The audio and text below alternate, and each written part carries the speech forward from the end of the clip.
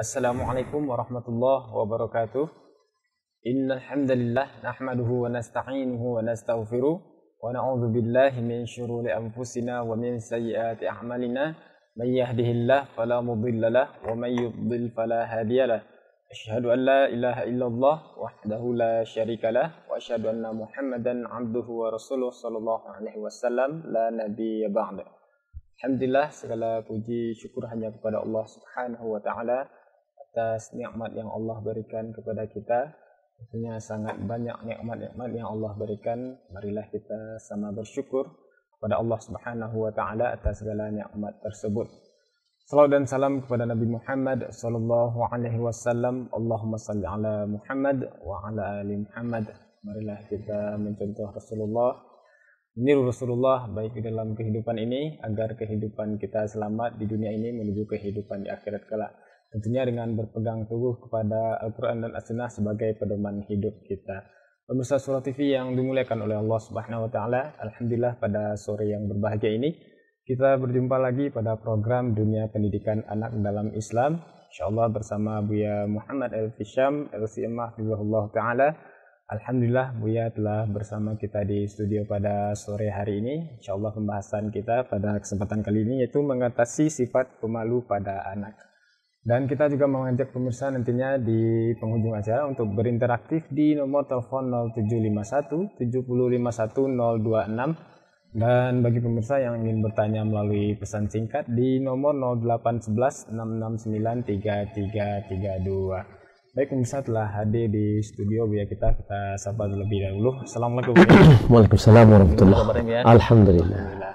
Pembahasan kita pada kali ini mengatasi sifat malu pada Iya. anaknya ya. Ya baik, langsung saja kita minta kepada Buya untuk menyampaikan kajian dunia pendidikan anak dalam Islam pada sore hari ini dengan tema mengatasi sifat pemalu pada anak. Pada Buya kita silakan Buya. Jazakallah. Bismillahirrahmanirrahim. Assalamualaikum warahmatullahi wabarakatuh. Alhamdulillah rabbil alamin wal aqibatu lil muttaqin wal udwana illa 'alal zalimin. Asyhadu an la ilaha illallah wahdahu la syarika واشهد ان محمدا عبده ورسوله اللهم صل وسلم على نبينا محمد وعلى اله وصحبه اجمعين اما بعد uh, pemirsa Surau TV yang dimuliakan Allah Subhanahu wa taala dimanapun Anda berada. Alhamdulillah segala puji bagi Allah yang senantiasa mencurahkan nikmat dan karunia-Nya kepada kita. Salawat dan salam semoga dan anugerah kepada Allah Subhanahu wa taala kepada Nabi kita Muhammad sallallahu alaihi wasallam Allahumma shalli ala Muhammad wa ala ali Muhammad. Pemirsa yang dimuliakan Allah Subhanahu wa taala, kajian kita pada hari ini adalah uh, kajian di antara problematika di dalam uh, sebagian dari karakter-karakter anak-anak. Yang karakter itu adalah karakter yang tidak baik. Yaitu yang dinamakan dengan pemalu di dalam bahasa Arabnya adalah khajal. Ya, dalam bahasa Arabnya adalah khajal. Uh, tentu kita uh, mengetahui tentang al-haya lawan uh, berbeda dengan khajal. Al-haya yang dikatakan oleh Nabi Shallallahu Alaihi Wasallam al-haya minal iman. Haya itu uh, dari bagian dari iman adalah rasa malu. Yakni uh, rasa malu yang mana seorang malu kalau uh, ditimpakan kepadanya aib-aib atau kejelekan-kejelekan. Hingga seorang ketika dia ingin berbuat maksiat, malu kalau nama baiknya tercoreng. Hingga dia tidak mau berbuat uh, berbuat jelek atau berbuat dosa. Ya. Uh, seorang tidak mau berbohong uh, karena dia malu disifatkan sebagai bohong. Berbeda dengan khajal ini. Di mana khajal ini sifat yang tidak baik sebenarnya. Walaupun bahasa Indonesianya adalah uh, pemalu tetapi malu yang tidak pada tempatnya. Ya, malu yang tidak pada tempatnya. uh, rasa malu ini adalah rasa malu uh, di mana uh, kebiasaan dari seseorang untuk menghindari diri dari orang lain. Jadi antara fenomena khajal atau rasa malu ini atau pemalu tidak mau uh, menjauh uh, dia biasanya kebiasaan menjauh dari orang. Atau uh, tidak mau uh, ikut serta di dalam kondisi-kondisi uh, kondisi-kondisi tertentu dalam uh, apa namanya uh, bergaul secara uh, bersosialisasi dengan masyarakat atau bergabung dengan masyarakat. Atau seandainya seperti anak-anak dia ketika ada kawan-kawan yang lain dia merasa malu untuk ikut serta di dalam uh, kebersamaan tersebut uh, dia uh, boleh jadi rasa malu ini uh, uh, apa namanya ada rasa takut cemas di mana uh, dia kurang percaya diri. Ya. Kemudian ketika dia berhadapan dengan orang, uh, dia merasa malu, yakni eh, artinya uh, uh, apa namanya ragu-ragu, oh, bisa tidak, bisa tidak, ragu-ragu, ya, mau ke depan, belakang, ke depan, belakang. Ya. Kemudian uh, fenomena orang yang khajal ini juga uh, fenomenanya adalah uh, suaranya selalu uh, apa namanya uh, berbicara pelan sekali suaranya ketika dia berbicara dengan orang yang tidak diketahuinya atau yang tidak dia kenal. Wajahnya suka memerah ya ketika dia berbicara ya.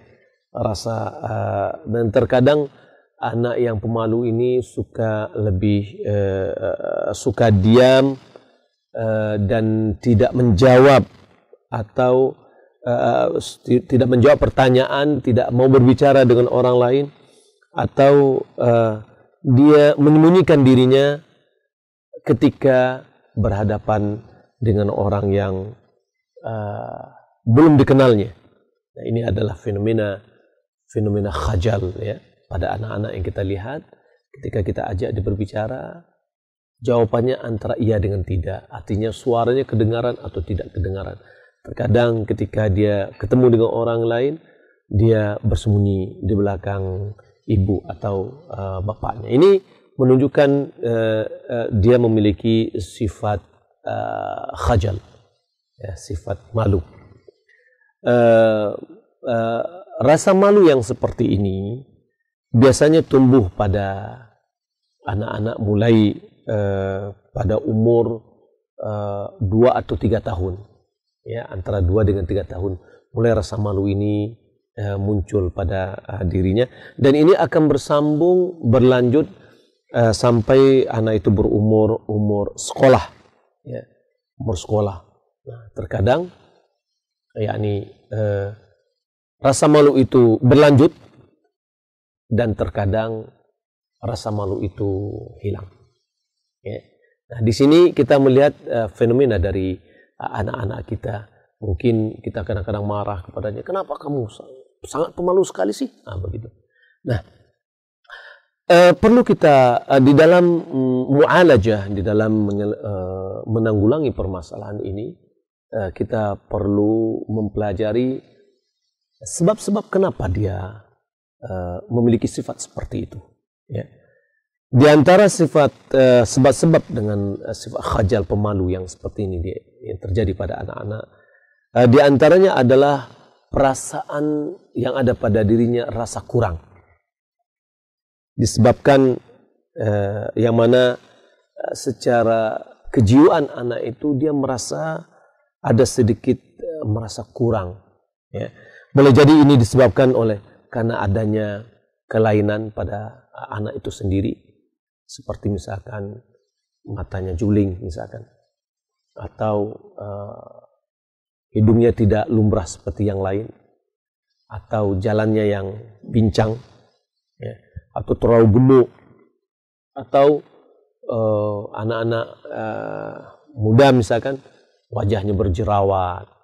Atau di wajahnya ada seperti uh, cepak atau uh, apa namanya berbeda kulitnya. Artinya uh, terjadi pada uh, dirinya uh, sesuatu yang lain ya secara fisik ya.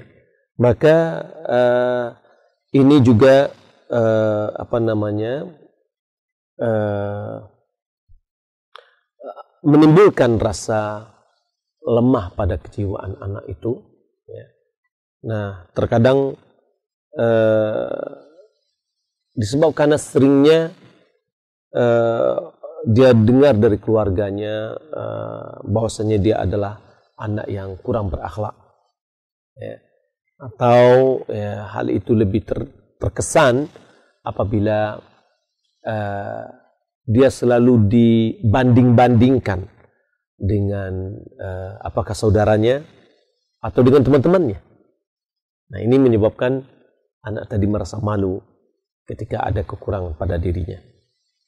Uh, terkadang juga rasa malu itu tumbuh disebabkan oleh uh, kondisi uh, taraf ekonomi keluarganya uh, dibandingkan dengan anak-anak uh, yang sebaya dengan dia sehingga uh, uh, apa namanya uh, dia tidak uh, bisa uh, menandingi kawan sepemainan dia sehingga menyebabkan dia merasa malu kepada kawan-kawannya dengan kondisi ekonomi keluarganya seperti itu. Ini di antara salah satu uh, sebabnya. Sebab yang lain boleh jadi disebabkan karena uh, apa namanya keterlambatan di dalam kemampuan di dalam belajar, ya. Uh, tingkat uh, penerimaannya dia belajar terlalu lambat. Atau yang dikatakan maaf dikatakan sekarang ini misalkan dia digolongkan kepada anak-anak yang kurang mampu di dalam belajar, nah sehingga dibandingkan dengan anak-anak yang sama sekelas dengan dia yang menonjol, nah, ini, dia merasa malu. Dilihat anak-anak yang lain sudah bisa membaca, dia belum bisa juga membaca. Nah ini akan menumbuhkan rasa malu pada dirinya. Ya, uh, pemalu yang sifatnya dia tidak mau muncul, uh, tidak berani dan yang lainnya. Kemudian uh, yang ketiga di antara uh, penyebab mungkin rasa malu ini muncul pada anak-anak adalah hilangnya perasaan aman, hilangnya rasa aman pada diri anak. Uh, kadang anak uh, dia tidak merasa aman dan tentram uh, sehingga menyebabkan dia tidak mau bergabung atau berkumpul dengan yang lain ya, disebabkan rasa uh, apa namanya kegalauan atau rasa uh, was-was yang tinggi pada dia. Misalkan kalau dia uh, berkumpul dengan yang lain boleh jadi dia akan disakiti boleh jadi akan diejek boleh jadi dengan yang seterusnya ya. Sehingga dia merasa bahwa di dalam pandangannya dia uh, selalu dalam uh, ancaman ya. Nah, sehingga ketika dia dia merasa tidak aman maka muncul uh, sifat pada dia rasa malu untuk untuk uh, berkumpul bergabung dan uh, tampil pada saat itu. Begitu juga uh, sifat uh, malu ini disebabkan oleh uh, uh, anak ini uh, ditimpa oleh sifat uh, malu ini ketika dia berada bersama orang-orang yang dewasa atau orang-orang yang tua ya. Khawatir apa? Khawatir dia dikritik oleh orang yang lebih besar dari dia ya. Atau uh, diejek ya. Dipermalukan ya. Terutama dari kedua orang tuanya. Nah ini hati-hati ya. Kalau seandainya anak ini ketika dia sudah misalkan kita pengen anak uh, anak ini malu kalau datang tamu malu dia. Nah ini mungkin ada muncul uh, kekhawatiran dia boleh jadi kalau dia kumpul nanti diejek-ejek oleh orang-orang yang besar, ya. Uh, baik kawan-kawan kakaknya atau teman-teman ibunya dan yang lain. Nah, rasa ini, rasa ketidaknyamanan ini menyebabkan dia uh, tumbuh rasa malunya. Kemudian uh, di antaranya yang menyebabkan dia muncul rasa malunya adalah perasaan ya menganggap bahwa dia ini hanya pengikut. Perasaan dia itu dianggap sebagai pengikut. Dan uh, dengan mengatakan bahwa anak kecil hanya ngikut dengan orang besar. Nah, gitu. Ya. Nah, apalagi seakan-akan dikekang dengan eh, aturan-aturan uh, yang keras sehingga dia merasa dia adalah orang yang lemah.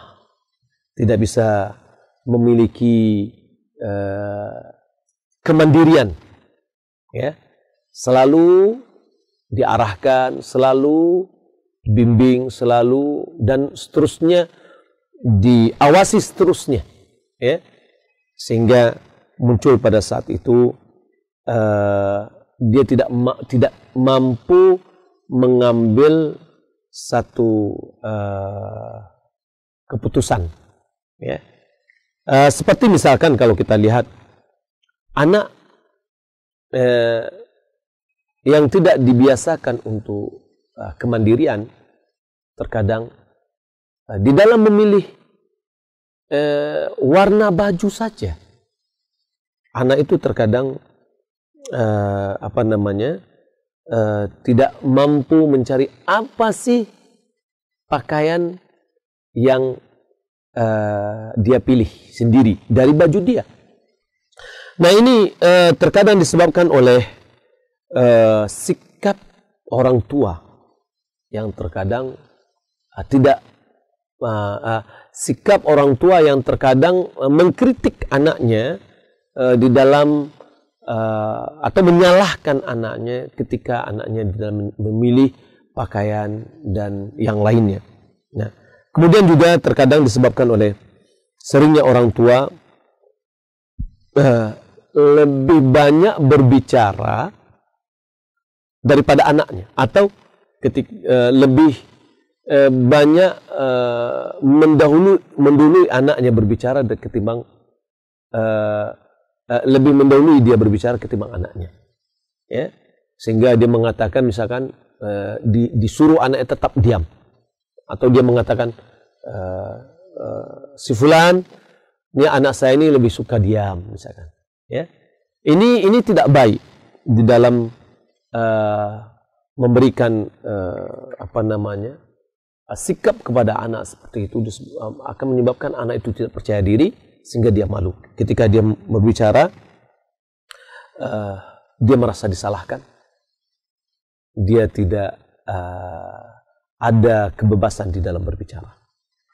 Kemudian uh, rasa malu ini juga disebabkan oleh tuntutan yang tinggi dari orang tuanya untuk sempurna. Ya. Dan terkadang karena menuntut dia lebih sempurna, sering menyalahi atau menyalahkan anak ini di hadapan teman-temannya. Ya. Nah ini eh, sebagian bapak dan ibu-ibu ya di dalam menuntut kesempurnaan terhadap segala sesuatu kepada anaknya uh, ini akan menyebabkan anak itu malu di dalam belajar di dalam bekerja dan yang lainnya. Ya. Nah, terkadang orang tua itu memang uh, apa namanya menuntut anaknya pintar. Tapi sementara orang tua malu, uh, lupa bahwa anak tidak seperti dia. Ya. Nah, ini perlu kita perhatikan bahwa anak itu seharusnya ada tedarujnya bertahap. Coba kita lihat. eh, terkadang subhanallah kita sebagai orang tua lupa dan tidak sadar bahwa anak kita ini sedang belajar. Ketika anak sudah masuk sekolah, kita anggap anak itu seperti kita. Ya, tuntutan kita, bagaimana anak saya pintar? Ini suatu hal yang sangat keliru. E, ketika anak kita belum sekolah, umur e, dua tahun, ketika dia umur satu tahun setengah, ketika dia baru belajar berbicara, kita sangat sadar dia adalah orang yang sedang berbicara. Kita tidak pernah marah ketika banyak kesalahan-kesalahan dia di dalam menuturkan kata-kata. Tapi dengan senang kita mengajarkannya. Ya. Nah, seharusnya ketika anak-anak tadi yang berumur antara 3 sampai umur sekolah, hendaklah kita juga menyadari bahwa anak kita ini semuanya adalah sedang tahap belajar. Maka adalah kita tumbuhkan kepadanya rasa kepercayaan diri. Ya, tidak boleh kita menjatuhkan. Baik. Kemudian eh, ada lagi yang menyebabkan anak itu eh, pemalu adalah berulang-ulangnya kata-kata eh, malu terhadap anak. Kita bilang misalkan anak, oh si fulan pemalu, nggak bisa berbicara, fulan manu, anda pemalu, dan seterusnya. Selalu kita ulang-ulang kata-kata itu. Sehingga kata-kata tersebut menjadi satu yang telah tertanam pada pikirannya bahwa saya adalah anak pemalu. Ya, sehingga itu yang menyebabkan dia uh, malu. Ya. Dan kemudian boleh jadi sifat pemalu itu adalah warisan dari kedua orang tuanya ketika itu adalah kebiasaan dari bapak dan ibunya. Tidak mau berbicara, tidak mau uh, malu tampil ke depan, malu berbicara, ya. Nah, ini akan diwarisi oleh anak. Ya. Kemudian di antara juga adalah uh, kondisi pertumbuhan anak baik secara uh, fisik maupun secara tabiatnya misalkan. Anak yang tidak lancar berbicara, uh, lidahnya yang misalkan uh, apa namanya cadal misalkan, atau uh, apa namanya berbicaranya tidak lurus. Nah, ini juga akan menyebabkan anak itu malu untuk berbicara, malu bertemu dengan orang, karena kurang yang ada pada dirinya. Ini di antara sebab-sebab uh, munculnya rasa malu pada diri anak yang malu di sini adalah sifat yang tidak baik. Ya, malu di sini ada sifat yang tidak baik. yakni anak ini tidak mau berani, mau uh, bersembunyi dari orang, tidak mau bergaul dengan yang lain dan seterusnya. Lalu bagaimana mu'alajahnya? Bagaimana cara kita mencarikan solusi terhadap anak ini? Di antaranya adalah yang pertama memberikan semangat kepada anak agar percaya diri. Ya. Ditumbuhkan rasa percaya dirinya kepada dia. Ya. E, dan diperkenalkan kepadanya Eh, sisi-sisi uh, yang menyebabkan eh, sisi-sisi uh, yang dia lebih dari yang lain. Ya, baik mungkin secara fisik dia cacat, tapi hendaklah kita semangatkan dia dengan kelebihan-kelebihan yang ada pada dia. Ya, sehingga kita tumbuhkan kepada diri ya, pada dirinya bahwa dia adalah orang yang tidak memiliki memiliki kekurangan. Anda kurang dalam satu fisik, ya, tapi Anda lebih dari ini. Yang mana orang lain juga, juga tidak memiliki. Kalau seandainya orang memiliki begini, Anda tidak memiliki, tapi Anda memiliki ini, yang lain itu juga tidak memiliki. Jadi ada rasa kepercayaan dirinya. Ya.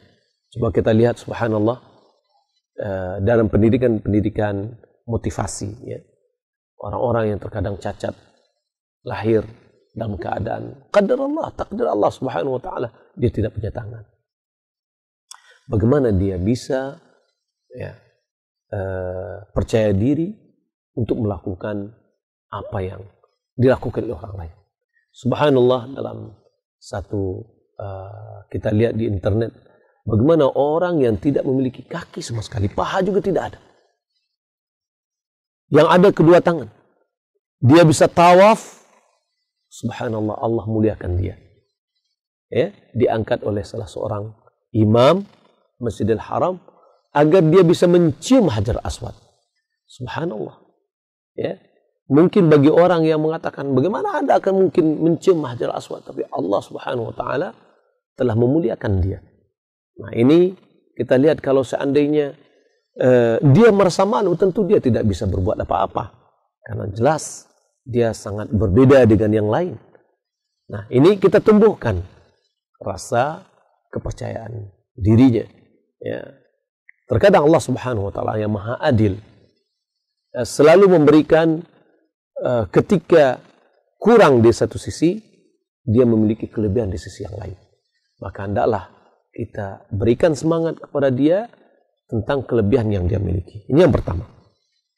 Yang kedua, eh, jangan kita membanding-bandingkan ya anak kita dengan anak-anak lain. Ya, yang mana mereka adalah orang-orang yang lebih baik darinya. Ya, jangan kita bandingkan. Kita kenapa kamu tidak bisa membaca? Si Fulan sudah bisa membaca, si A sudah lancar membaca. Jangan.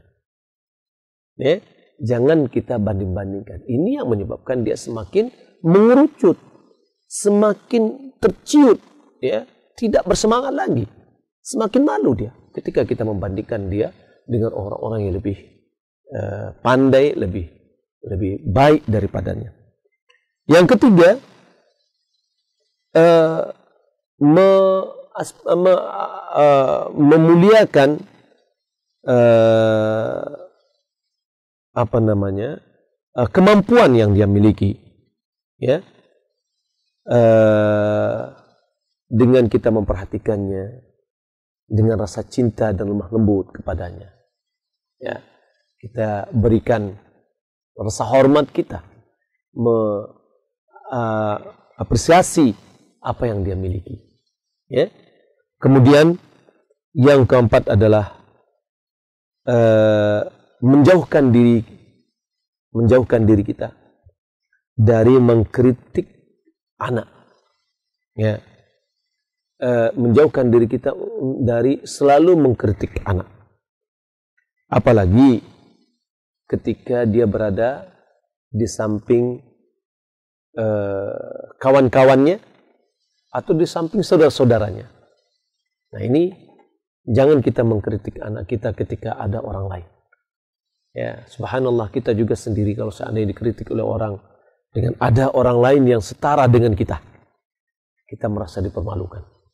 Ya, kita merasa dijatuhkan. Terkadang kita tidak menerima. Nah begitu juga dengan anak kecil ya. Dia merasa dipermalukan pada saat itu.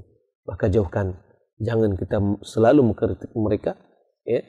Uh, di samping uh, kawan-kawannya atau uh, saudara-saudaranya. Kemudian yang berikutnya adalah uh, jangan kita uh, apa namanya uh, membebani membebani anak untuk melaksanakan uh, satu pekerjaan yang tidak uh, di, uh, yang tidak mampu dia kerjakan. Yani, jangan kita bebani anak-anak dengan uh, melebihi dari kemampuan dia, melebihi dari kemahiran mereka. Nah, sebagai contoh ya, uh, khususnya ini guru-guru nih Jangan kita bikin suruh anak itu bikin PR sementara anak itu belum tahu. Ya, tidak mungkin dia melakukan. Bagaimana Anda akan memberikan kepada anak-anak uh, tugas sementara tugas me, me, menulis hadis, menulis uh, apa namanya doa-doa sementara anak apalagi anak kelas 1 mungkin anak kelas 2 belum tahu membaca ya eh, apa namanya membaca Al-Qur'an.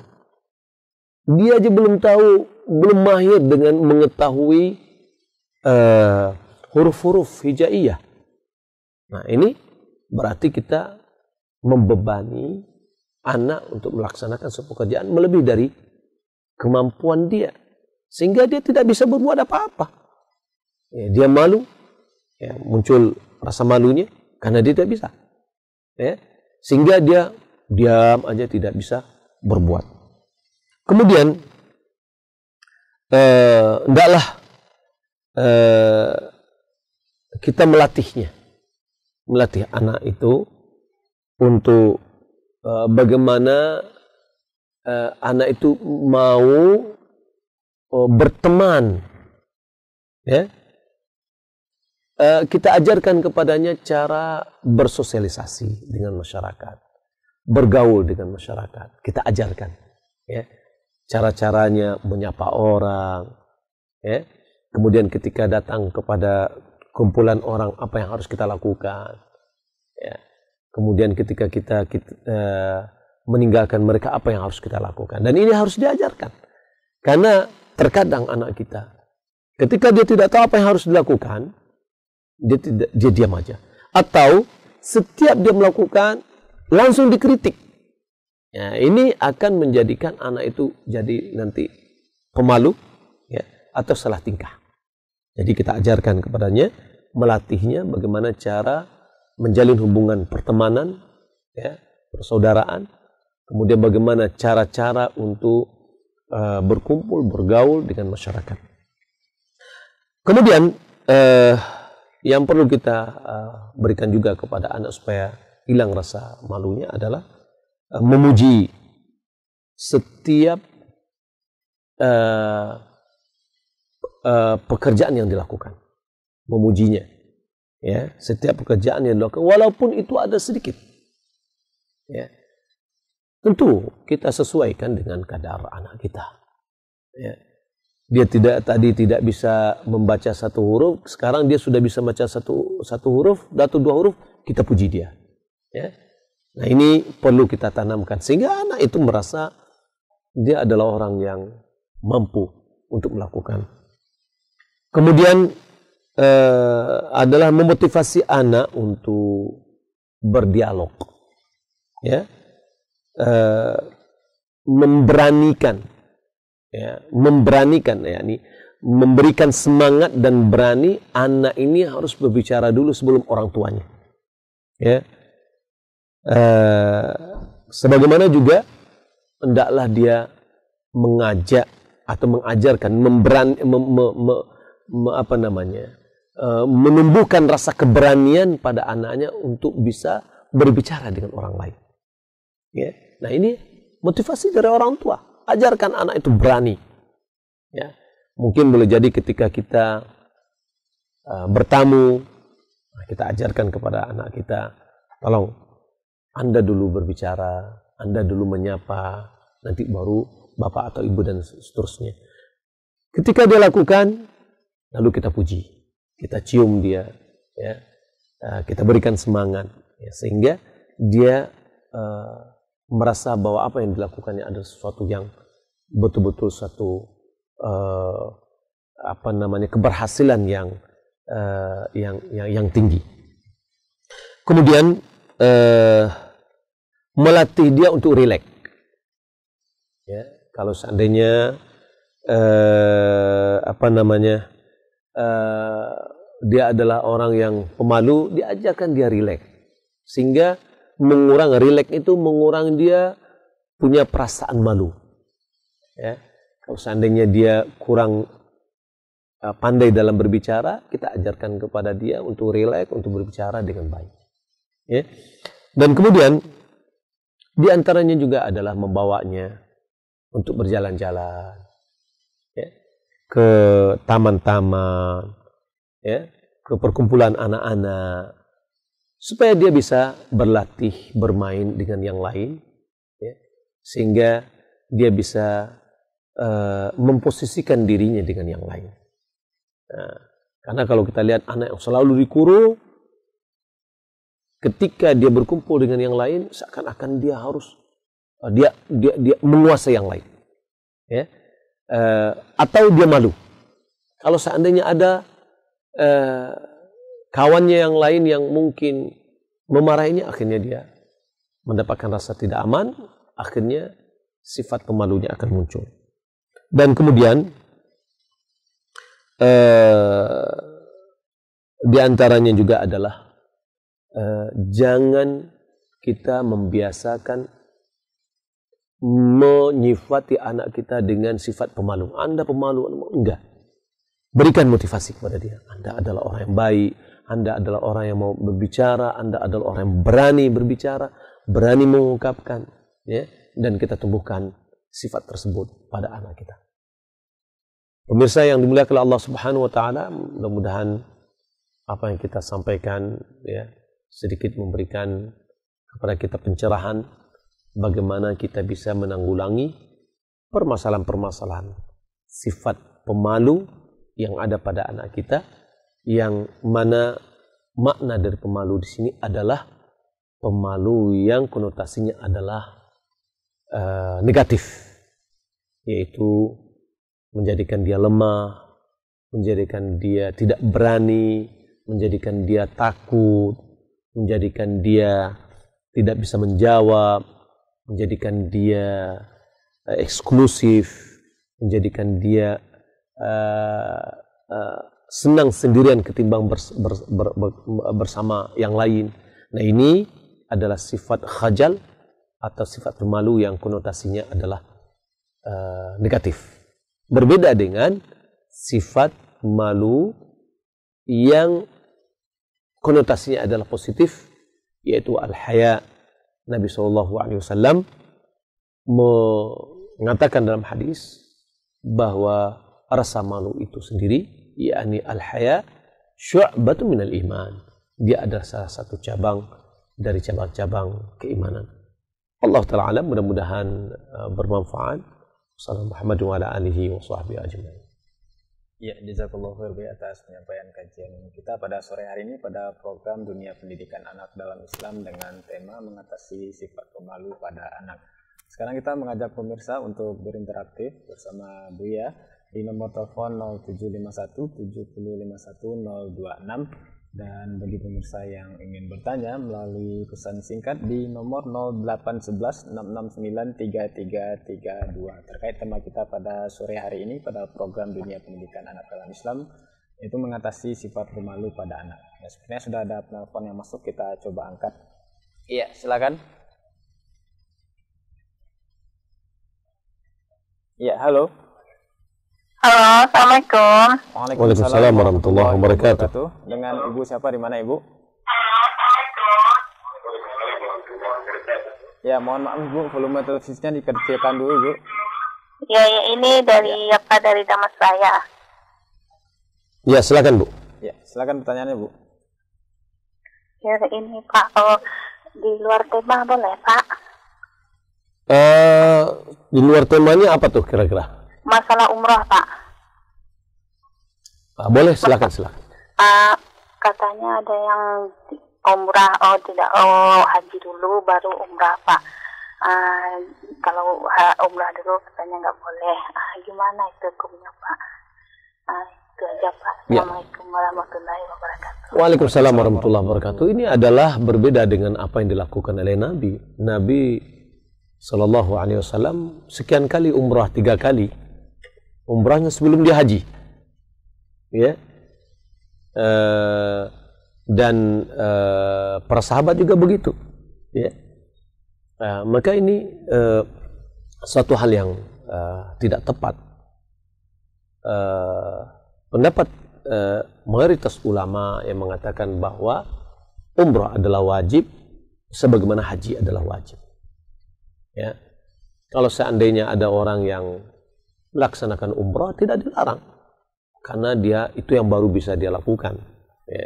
mungkin boleh jadi kalau seandainya ada orang mengatakan bahwa uh, kalau seandainya dia melaksanakan umrah uh, kesempatan dia untuk uh, mendaftarkan dirinya untuk haji semakin lama. Ya. Maka lebih baik mendaftar dulu ya untuk haji sehingga dia mendapatkan porsi. Lalu setelah itu ada uang kesempatan uang lagi, uh, silahkan dia umroh. Kan begitu ya. Uh, tapi tidak uh, melarang atau mengatakan tidak benar kalau seandainya uh, boleh haji umrah dulu baru haji enggak. Jadi kalau saya memandang wallahu alam sebagaimana Nabi wasallam mengatakan bahwa haji dan umrah itu menghilangkan kefakiran sebagaimana pompa api menghilangkan bunga-bunga api dari besi maka siapa yang memiliki kemampuan untuk melaksanakan umrah silakan datang umrah. Pasti Allah Subhanahu wa taala kembalikan uang Anda ya sehingga Anda bisa mendaftar untuk melaksanakan haji. Wallahu taala alam Ya, syukur jazakallah khair Bu atas jawabannya. Sekarang kita masuk ke pesan singkat Bu ya. Ada pertanyaan dari hamba Allah. Assalamualaikum warahmatullahi wabarakatuh Bu ya. Waalaikumsalam warahmatullahi wabarakatuh. Uh, bagaimana cara kita sebagai orang tua mengatasi anak yang malu untuk terbuka kepada kita tentang sesuatu hal yang mereka hadapi ini ya, atau masalah mereka? Iya. Pertama perlu kita ketahui bahwa malunya anak untuk menceritakan tentang sesuatu yang dihadapinya uh, menceritakan kepada orang tuanya ini uh, saya melihat fenomena yang tidak baik. Karena uh, sesuatu yang disimpan oleh anak boleh jadi akan mengakibatkan uh, apa namanya uh, sesuatu pada kejiwaan dia. Maka bagaimana cara kita memotivasinya? Yang pertama kita berikan rasa aman pada diri pada dirinya ketika dia berbicara dengan jujur. Rasa tanamkan kepada dia rasa kenyamanan dan manfaat ketika dia bercerita tentang jujur dengan kita. Kalau seandainya dia salah, jangan dimarahi. Ya, kalau dia salah, jangan dimarahi. Tapi diberikan kepada dia gambaran dan pemahaman bahwa yang dia lakukan itu adalah suatu hal yang salah. Ya, jangan kita marahi. Kita puji dia bahwasanya dia sudah mau ber uh, terus terang dengan kita dan kita sampaikan itu adalah satu hal yang dilarang, satu hal yang keliru, ya, dan mohon jangan diulang kembali. Ya. Tapi ketika dia sudah jujur, lalu kita marah-marahi dia ketika yang dia sampaikan itu adalah salah, apalagi ya hmm, tidak sesuai dengan kita. Nah, ini semakin menyebabkan anak itu akan bungkam, tidak mau berbicara dengan orang tua. Wallahu taala. Ya, jazakallahu khair atas jawabannya. Sepertinya sudah ada penelpon berikutnya. Terhubung. Kembali kita mengajak pemirsa untuk berinteraktif di nomor telepon 0751 751 026 dan bagi pemirsa yang ingin bertanya melalui pesan singkat di nomor 0811 669 3332. Baik, kita masih dari pesan singkat nih, ada pertanyaan dari Abi Ibadur Rahman Al-Fakih di Kuranji nih, ya. Ya. Assalamualaikum warahmatullahi wabarakatuh, ya. Waalaikumsalam. Saya punya anak sekarang duduk di SD nih, ya. Anak ini bila ditanya oleh siapa pun sangat sulit menjawab dengan spontan, ya tapi apabila dengan teman-temannya dia vokal, artinya dia uh, mampu menjawab uh, atau ceria gitu ya. Kami di rumah tak pernah membatasinya di rumah. Bagaimana solusinya, ya? Iya. Uh, mungkin wallahu alam yang perlu kita pelajari adalah uh, kita pelajari dulu sebabnya kenapa nih. Ya. Kenapa dia ketika ditanya oleh orang lain dia bungkam? Tapi ketika dia bercerita dengan anak dengan kawannya dia lebih eh, lebih ceria. Nah, kalau kita lihat yang tadi ketika dia berbicara dengan dengan eh, dengan kawannya dia merasa dia adalah orang yang bisa gitu lah. Ya.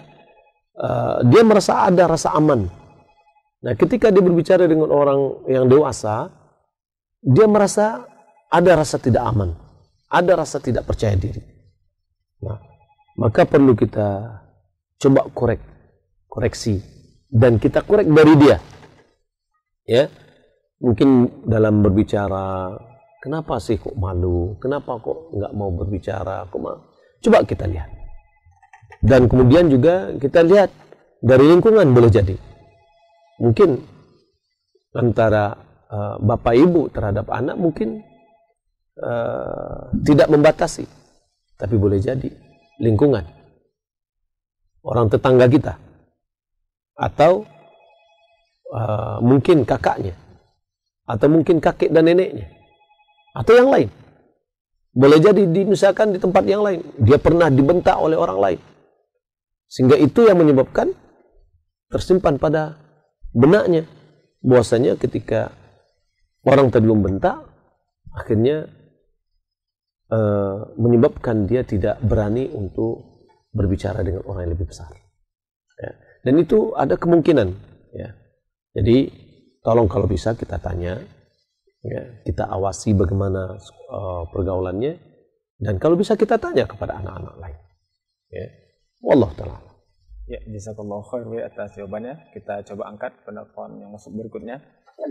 Ya, halo, silakan. Assalamualaikum. Waalaikumsalam warahmatullahi wabarakatuh. Uh, ya, dari Yasmir dari Solo. Iya, Pak.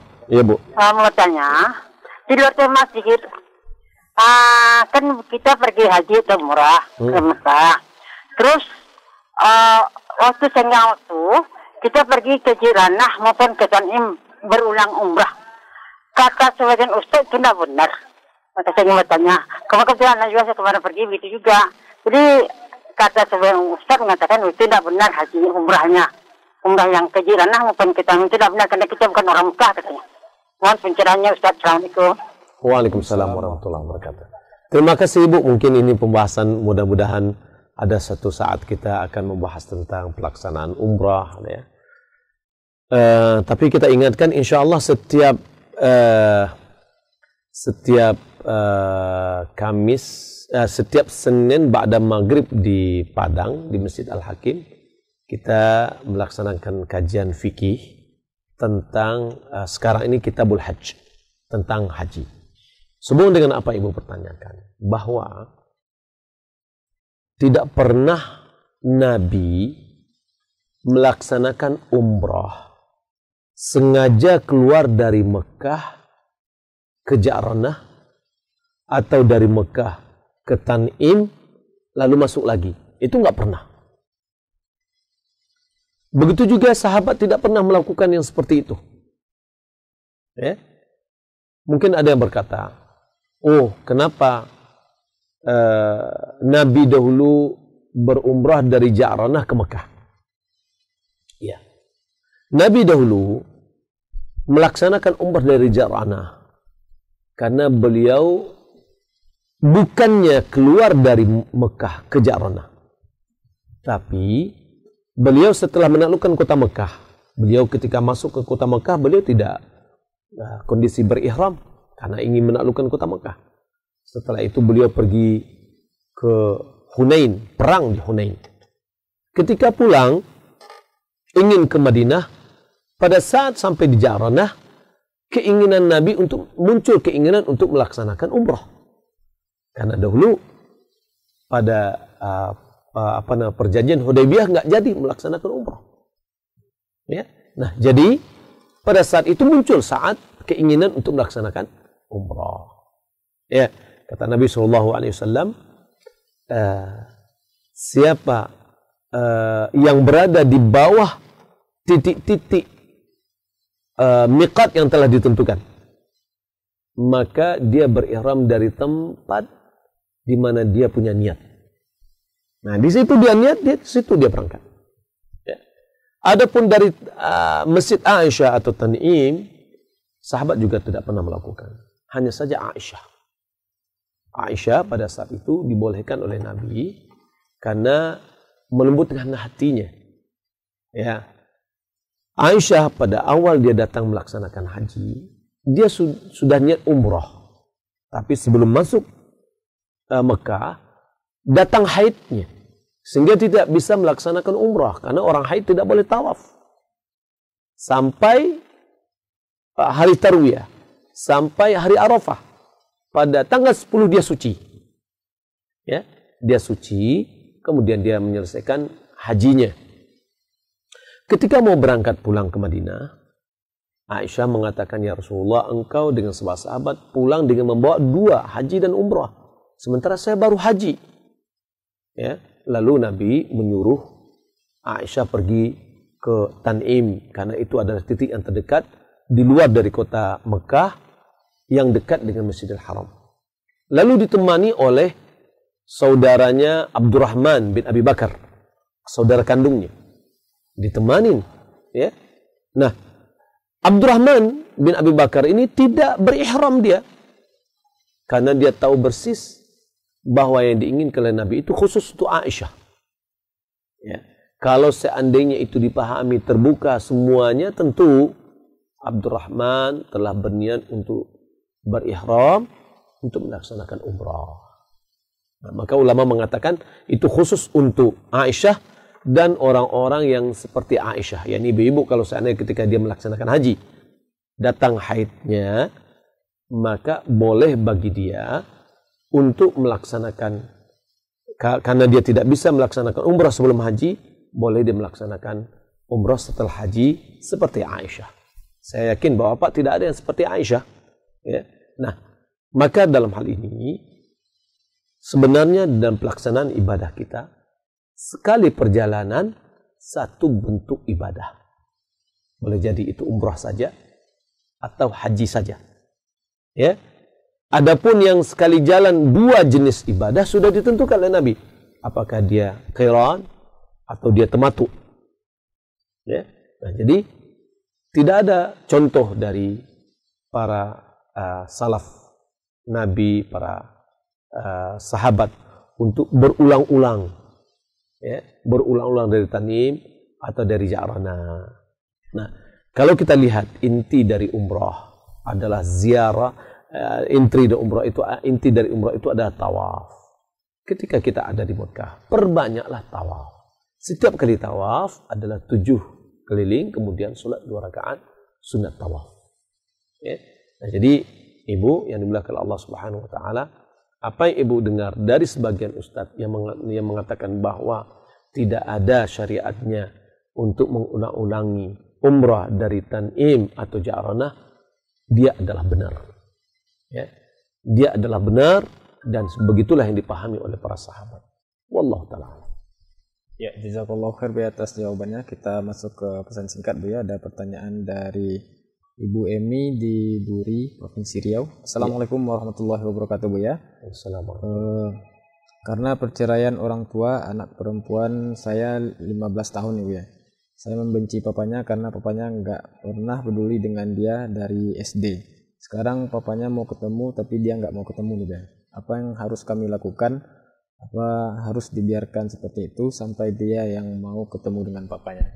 Iya, uh, tidak kita biarkan itu adalah sikap yang salah.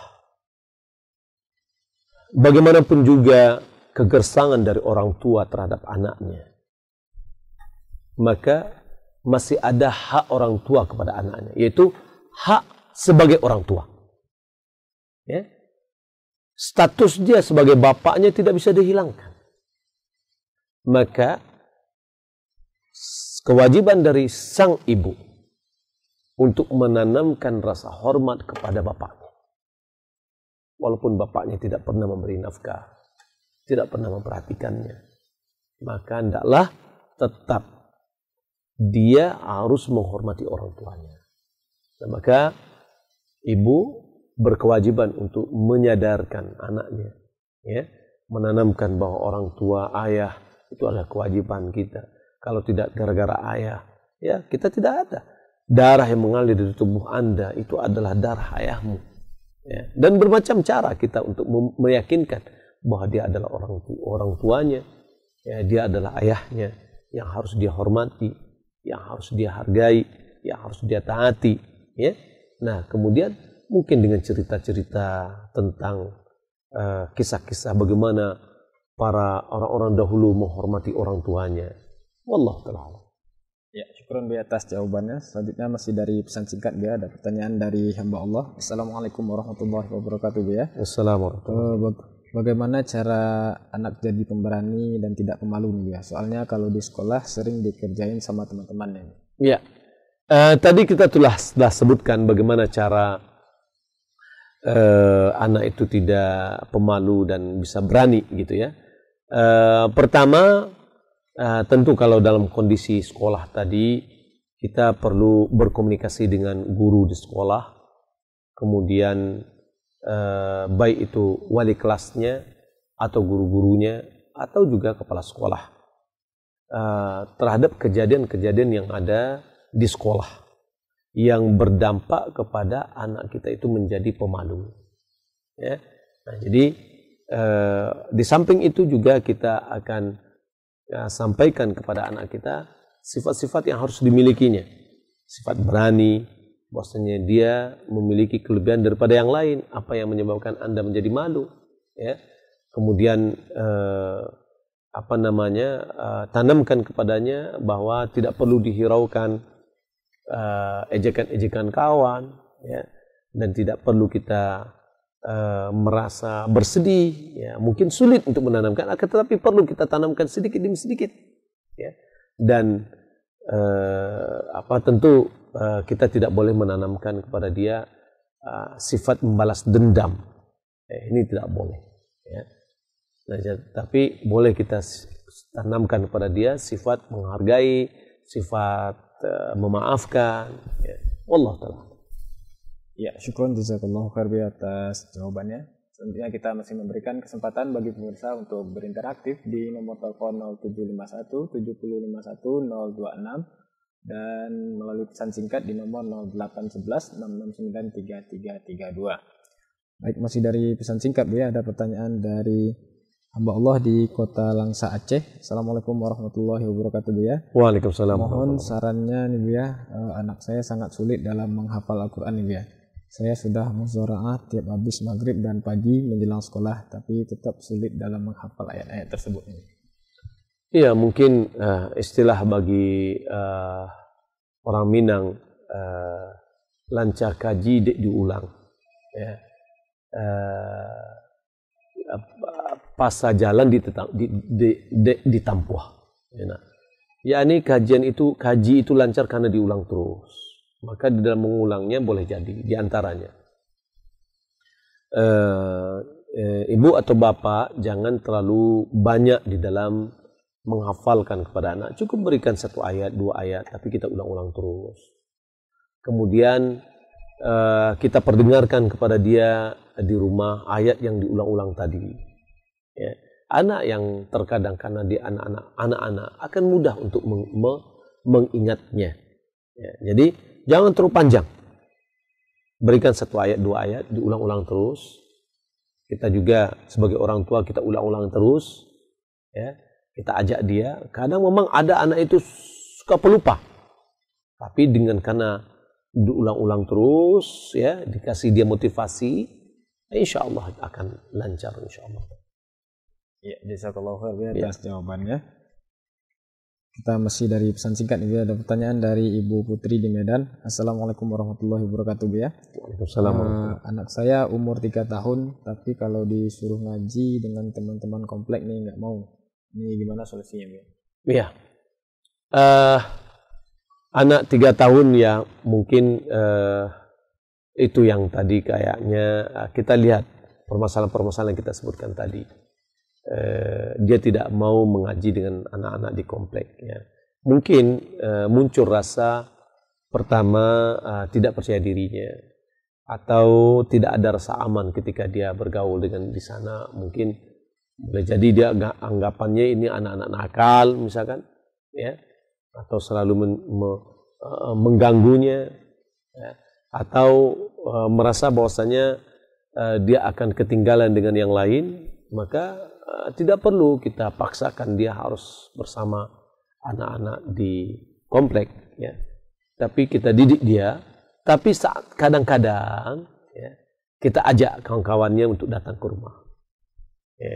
oleh jadi dia tidak merasa aman di rumah orang lain tapi nanti lambat laun satu dua tiga setelah anak kita memiliki kemampuan untuk belajar kita ajak dia ajak kawan-kawannya sehingga dia bisa bersosialisasi Ya Allah Ya, syukron jazakallahu khair Bu ya. Masih dari pesan singkat Bu ya, ada pertanyaan dari hamba Allah. Assalamualaikum warahmatullahi wabarakatuh Bu ya.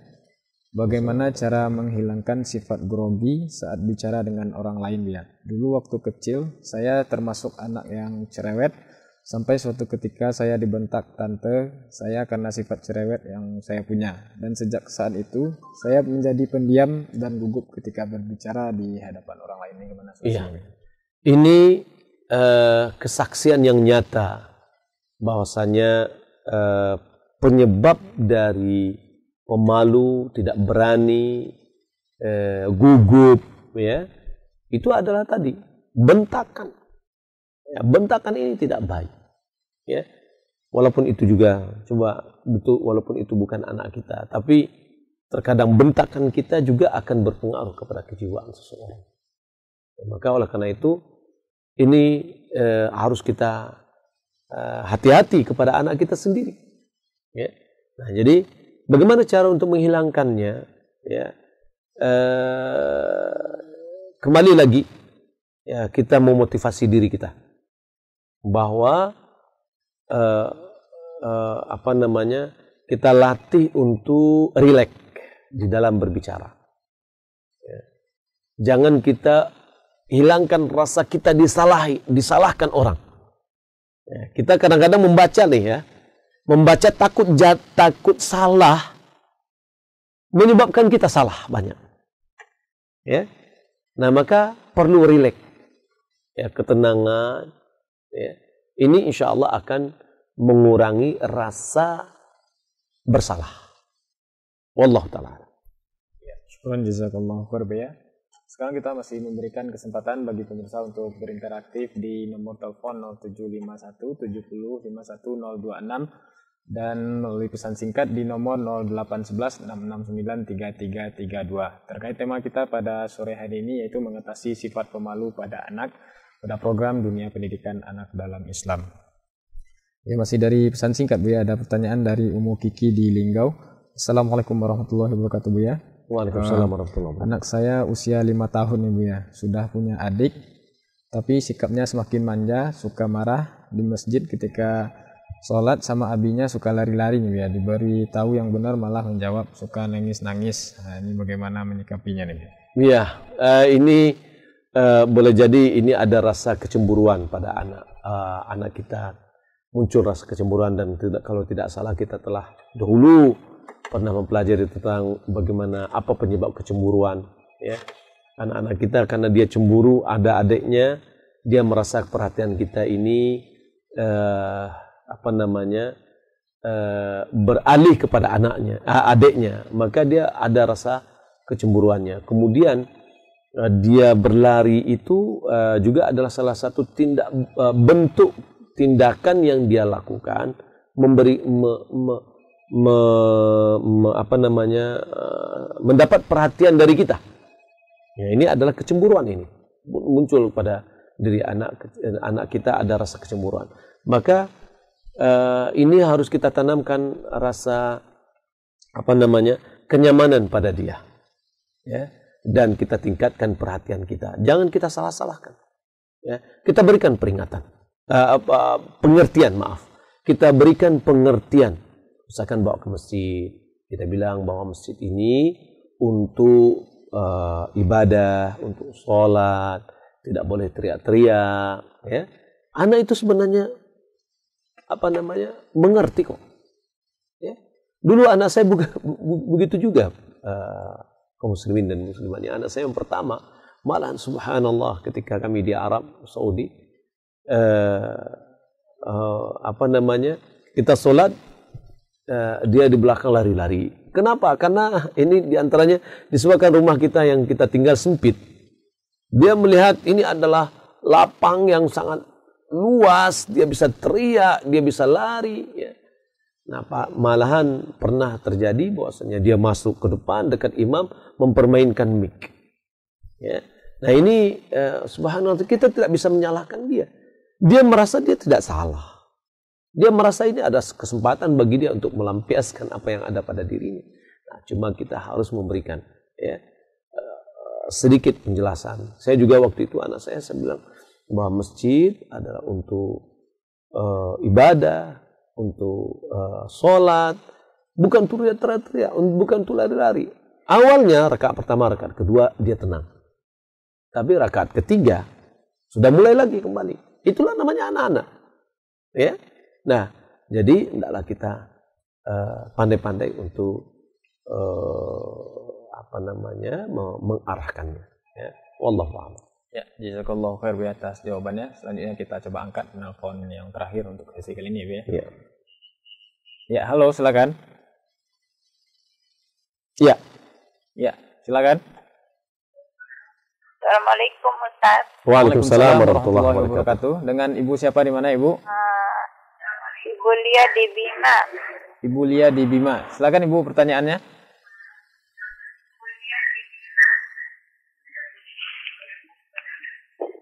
Uh, mau bertanya Ustaz ya untuk menanamkan sifat uh, apa disiplin atau tanggung jawab kepada anak sesuai dengan umurnya itu gimana ya Ustaz ya? Iya. Ya, itu saja Ibu pertanyaannya.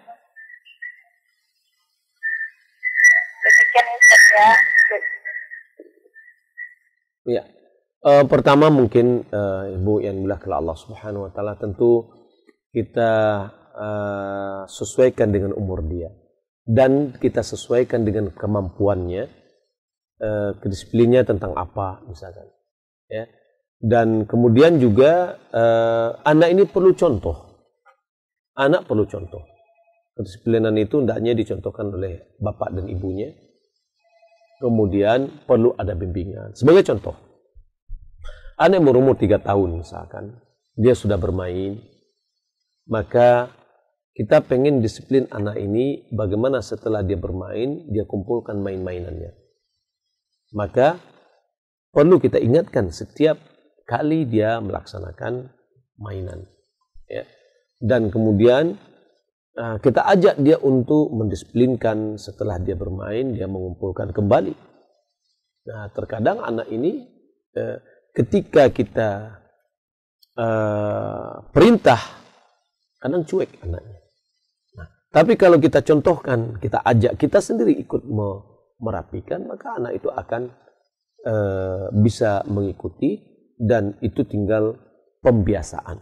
Ya. Di samping itu juga, hendaklah kita sebagai orang tua mencontohkan kedisiplinan kepadanya setelah kita melakukan suatu kegiatan, hendaklah kita rapikan kembali tempat kita sehingga anak itu melihat bahwasanya kita adalah orang yang disiplin. Wallahu taala. Ya.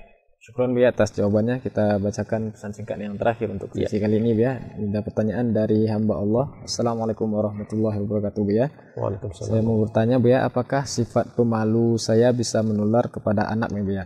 Karena saya melihat anak saya tidak berani untuk tampil di acara sekolah. Iya. Uh, nggak tahu saya ya. Uh, ini pemalunya ibu bagaimana kan begitu kan.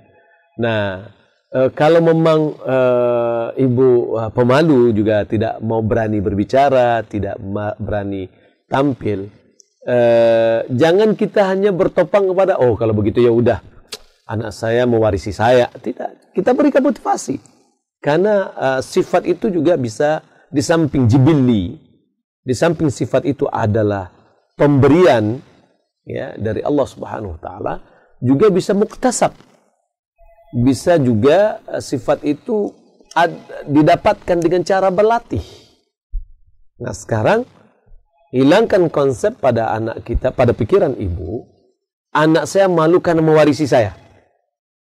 Ya, ini harus kita hilangkan dari dari dari pikiran kita gitulah. Nah, sekarang bagaimana kita memotivasi dia untuk tampil ke depan? Ya, kita berikan semangat, kita berikan hadiah, kita dan yang lain-lainnya ya mudah-mudahan dia akan bisa berani ya wallah taala Jazakallah khair atas jawabannya. Pemirsa Solo TV yang dirahmati oleh Allah Subhanahu wa taala di mana pun berada sampailah kita di penghujung acara pada sore hari ini pada program Dunia Pendidikan Anak dalam Islam.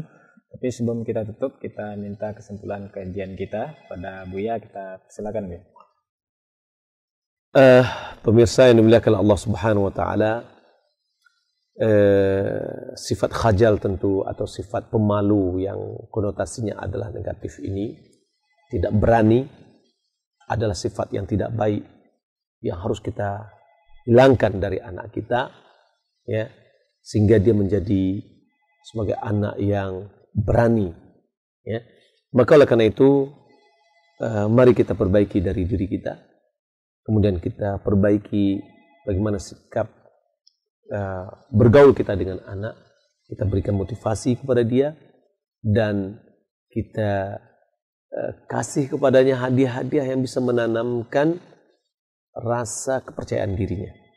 Ingat, berusahalah kita menjauhkan diri dari membentak anak, mencela anak, atau mempermalukan anak, atau juga misalkan uh, mengejek-ejek anak, ya, mengketawakan anak juga. Ya, ini hati-hati. Kita kalau apa uh, mengketawakan anak kita karena dia salah, karena dia tidak mampu, ya. Nah, ini sikap yang tidak baik. Ya, yang akan menjadikan anak kita selalu uh, takut, malu, tidak berani, ya. dan tentu kita tidak inginkan. Kita ingin anak kita tumbuh sebagai seorang anak yang berani berbicara, berani mengungkapkan. Saya melihat subhanallah uh, sebagian dari orang anak-anak Arab kita lihat dia berani berbicara. Ya. Karena saya melihat uh, anak ini memang dibiasakan untuk berani. Dan ingat juga biasakan anak itu dengan orang tuanya. Orang dengan ayahnya saya maksud. Ber, eh, biasakan anak itu dengan ayahnya. Maka akan muncul rasa keberaniannya. Tapi kalau seandainya dia selalu dengan ibunya, maka sifat pemalunya lebih tinggi. Ya, khususnya ini adalah anak anak laki-laki. Wallahu taala. Ya, jazakallahu khair Bu atas kesimpulan kajian kita pada sore hari ini pada program Dunia Pendidikan Anak dalam Islam dengan tema mengatasi sifat pemalu pada anak. Terima kasih kita ucapkan kepada Buya Muhammad El Fisham LCM Mahfuzullah Ta'ala yang telah hadir di studio Buya dan ya. juga menyampaikan kajian. Jazakallahu khair. Terima kasih juga kepada pemirsa yang telah aktif berpartisipasi baik melalui telepon dan juga SMS. Dan kita juga mohon maaf karena tidak semua penanya dapat diangkat satu persatu baik melalui telepon dan juga SMS karena keterbatasan waktu. Terima kasih kepada aku yang bertugas pada sore hari ini. Kita tutup dengan doa kafaratul majlis. Subhanakallahumma wa bihamdika Asyhadu an la ilaha illa anta astaghfiruka wa atubu ilaik. Assalamualaikum warahmatullahi wabarakatuh.